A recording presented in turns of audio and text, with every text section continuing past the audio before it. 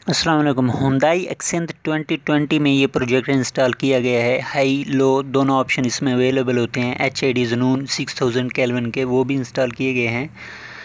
Universal product है, किसी भी आप गाड़ी में इसे इंस्टॉल कर सकते हैं। ये बेसिकली उनके लिए जो जिनके रास्ते ख़राब हैं या जैसे रात में ज़्यादा सफ़र करते हैं या जिनको हर वक्त रोशनी का मसला रहता है तो वो ये प्रोडक्ट इंस्टॉल करा सकते हैं। बहुत ही ज़बरदस्त प्रोडक्ट है। आप रोशनी से आपको पता चल गया होगा कि इसकी कितनी तेज़ रोशनी होती है।